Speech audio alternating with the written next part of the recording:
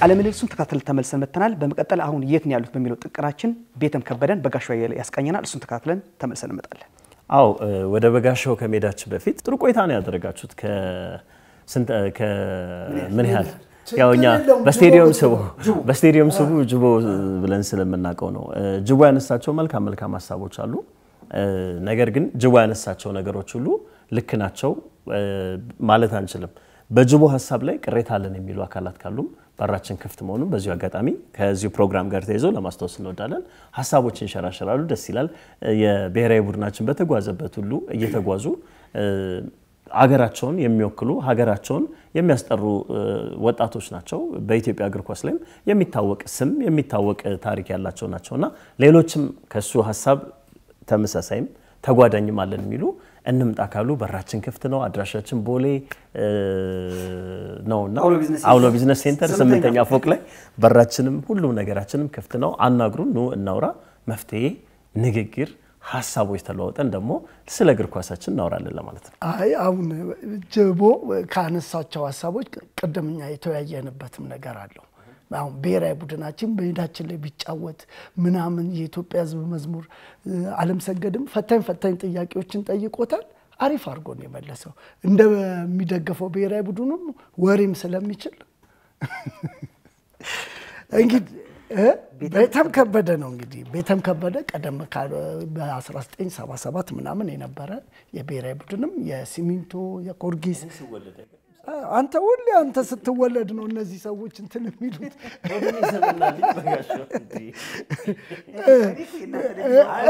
የቪዲዮ ማስረጃ አቅርብሽ። እኔ ምንም እኮ አላልኩም። ልክ ነህ እኮ ነው ያልኩህ። እኔ ምን አልኩ? ምንም አላልኩም። የተወለደው አዲስ አበባ ሲሆን እድገቱ ደግሞ አስመራ ላይ ነው። በሚያሳየው ድንቅ እንቅስቃሴ ለስድስት የተለያዩ ክለቦች በበረኝነት አገልግሏል። ብዙ ተመልካቾች በአየር ላይ በሚያድናቸው ኳሶች አሞራው ጭልፊቱ በማለት የሚያወድሱት ቤትም ከበደ የዛሬው የት ነው ያሉት እንግዳችን ነው። እንግዳችን የጦሩ ደጋፊዎች ለምን ነበር የሚናደዱብ ብዬው ነበር። ምን እንደሆነ ታውቃለህ? ጦሩ ጦሩ ቤት ነው ያደግኩት ብዬ ካለው አባቴ ወታደር ስለነበረ በዚህ የተነሳ በአንድ ወቅት ቅዱስ ጊዮርጊስ ስጫወት እኛ ሁለት እድል ይዘን ገባን። ጦሩ አንድ እድል በዚህ መሃል ሪጎሬ ወይም ፔናልቲ ያገኛሉ። እኔና ታሪኩ መንጀታ ተፋጠጥን። ሲመታው ተወርውሬ ያዳንኩበት። እኛም ዋንጫውን አነሳን። የጦሩ ደጋፊዎች የበላበትን ወጭት ሰባሪ እያሉ መሳደብ ጀመሩ። በዚህ የተነሳ ይናደዱብኛል። እሱ ብቻ አይምሰልህ። ያረፍንበት ገነት ሆቴል ድረስ በጂፕ መኪና በመምጣት በእጅ ምልክት አስፈራርተውኝ ሄደዋል። የልጅነት የኳስ ሕይወትስ ምን ይመስላል? እንደ ማንኛውም ታዳጊ ወይም ሕፃን በጨርቅ ኳስና ሰፈር ውስጥ በመጫወት ነው ያሳለፍኩት። የክለብ አገባበስ በወረዳ 19 ቀበሌ 47 ሰፈር የወጣቶች ማህበር ነበረ። ለዛ ስጫወት የተመለከቱኝ የአካባቢው ሰዎች በጣም በመገረም ለምን ይሄ ልጅ ሲሚንቶ እንዲጫወት አንወስደውም በማለት የሲሚንቶ ሰራተኛ የነበሩ የእኛን ጨዋታ ሲመለከቱ ሲመለከቱ ነበር። ወዲያው ወደ ክለቡ ገባው እልካለሁ። ለስንት ክለቦች ተጫወት? በአጠቃላይ ለስድስት ክለቦች ተጫውቻለሁ። ወደ በረኝነት እንዴት ልታዘነብል ቻልክ? ወንድማማቾች አምስት ነን። እኔም አምስተኛ ልጅ ስለነበርኩ ከሌላ ቡድን ጋር ወይም ከሌላ ሰፈር ጋር ስንጫወት እኔን በረኛ ግባ ይሉኛል። በዚህ የተነሳ ወደ በረኝነት ላዘነብል ችያለሁ። በዛው ግን ግብ ጠባቂነቱን ወደድኩት መሰለኝ። ሌሎች ልጆችም ሲጫወቱ በረኛ ልግባላችሁ በማለት ወደ ግብ ጠባቂነቱ በደንብ ገባውበት። የሚያስቸግር አጥቂ ማን ነበረ? በዛን ጊዜ ሁሉም ክለቦች አስቸጋሪ አጥቂ ነበራቸው። ለምሳሌ ገብረ መድህን ኃይሌ፣ ሙልጌታ ከበደ፣ ሙልጌታ ወልደየስ፣ ታሪክ ወልዴ፣ ዮሴፍ ዳዊት፣ ተስፋዬ ሚሊዮን በጋሻው፣ ተስፋዬ ቱታ፣ ሙላት ገብረሕይወት፣ እንዳለ ፈይሳ፣ ተስፋ ሚካኤል ዳኘው፣ መሐመድ ኡስማን ሚግ፣ ጌቱ መልካ፣ መክበብ ረዳው ታሪኩ መንጀታ፣ አብይ ነጋሽ፣ ኤልያስ ጀዋር እነዚህ ሁሉ አጥቂዎች እና አማካዮች በጊዜው በጣም ጎበዝና አስቸጋሪ ተጫዋቾች ነበሩ። አስቸጋሪ ስል በጸባይ ሳይሆን በችሎታቸው ነው። የማትረሳው ጨዋታ በአለ ወይ በደንብ እንጂ ተመልካቹን ቁጭ ብድግ ሲያደርግ የነበረውና የሲሚንት እና የመድን ጨዋታ በጣም ልዩ የነበረ ጨዋታ ነበር። እነሱ ይሞክራሉ፣ እኛም እንሞክራለን። የሁለቱም በረኞች ስራ በዝቶብን የነበረ አሪፍ ጨዋታ ነው። ይህን ጨዋታ መቼም አልረሳውም። ጨዋታው ደግሞ ለኢትዮጵያ ሻምፒዮና ዋንጫ ለማለፍ የተደረገ ልዩ ጨዋታ ነበር። የምታደንቀው በረኛ ማን ነው? ንጉሴ ወልደ ተካበ ዘውዴ። ንጉሴ ወልደ አማኑኤል የኢትዮጵያ ቡና ነበረ። ተካበ ዘውዴ ደግሞ የጨርቃ ጨርቅ በረኛ ነበረ።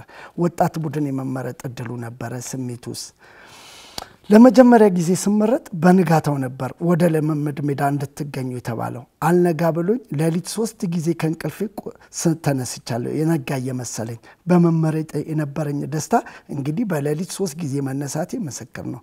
በዛ ላይ የወታደር ልጅ ነኝ። አገሬን እንዳገለገል ስጠራ ደስታዬ እጥፍ ደርብ ነበረ። ከገቡቡ ገሎችን ማትረሰዋለ ሲሚንቶ ከጊዮርጊስ ሲጫወት ሙሉጌታ ከበደ ያገባብኝ ጎል አልረሳውም። በዛ ላይ ሳሩ የሚመች ስለነበረ አሪፍ ጎል ነው ያገባብኝ። ጥሩ መጥፎ ገጠመኝ ካለ እዚህ የተዘጋጀው የምስራቅና የመካከለኛው ዋንጫ ላይ training ላይ ተጎድቼ ማለትም እጄ በመውለቁ በእኔ ቦታ ተካበ ዘውዴ የተጠራበት እንደ መጥፎ ሳየው እንደ ጥሩ ገጠመኝ አየዋለሁ። ምክንያቱም በዚህ ውድድር ላይ አለመኖሬ እንደ መጥፎ ሳየው ዋንጫው እዚህ በማስቀረታችን እንደ ጥሩ ነው ማየው። አሁን የት ትገኛለህ? አሁን ያለሁት እዚሁ አዲስ አበባ ሲሆን ስራዬም በ Oil Libya company ስር በኢትዮጵያ አየር መንገድ ውስጥ በመስራት ላይ ይገኛለሁ። ያንተ ምርጥ 11 ከና አሰልጣኙ ወይም ንገረኝ፣ ተቀያሪም ትችላለህ ብየው ነበር። በረኛ ተካበ ዘውዴ ተከላካይ ላይ ከሪም አስራት አዱኛ፣ በቀለ ብርሃኑና መሐመድ ሸሪፍ፣ አማካይ ላይ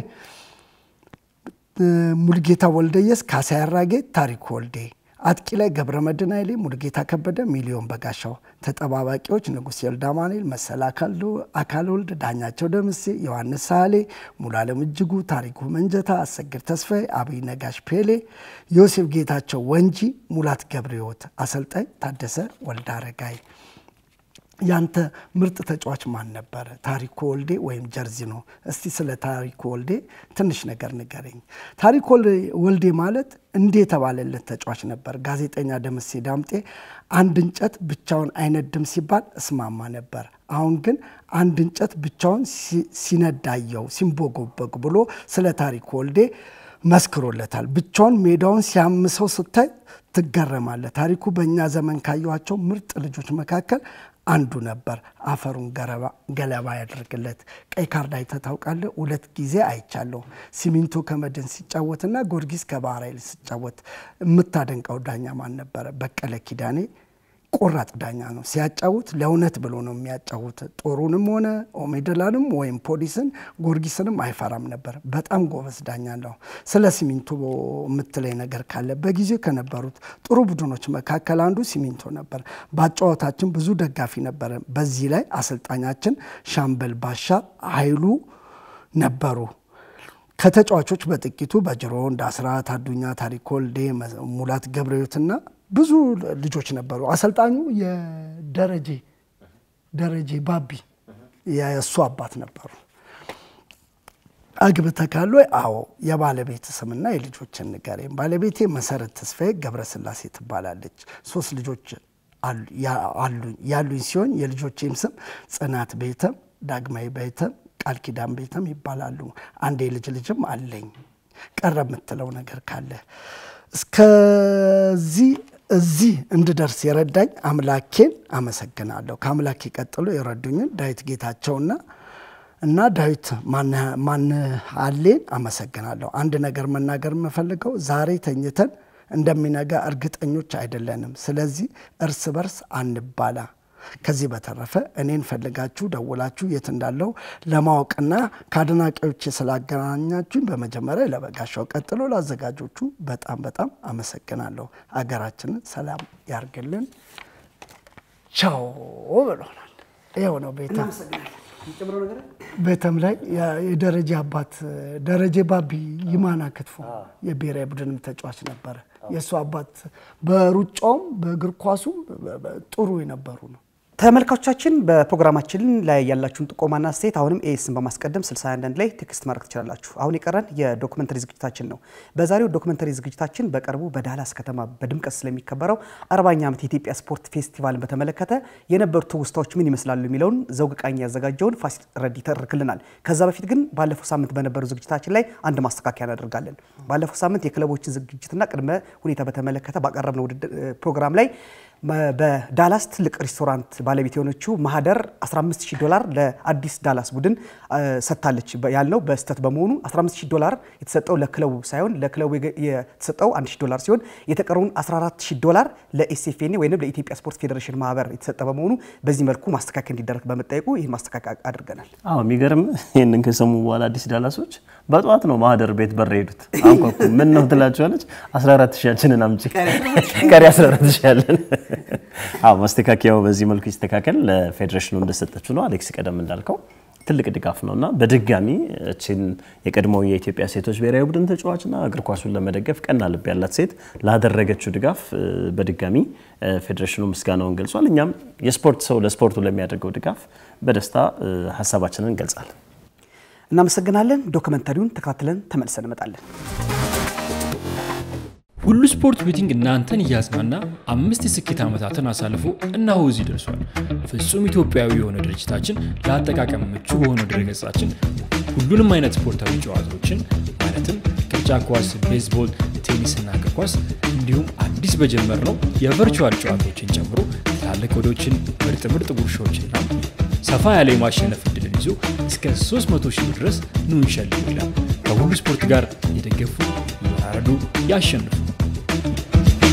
Thank you.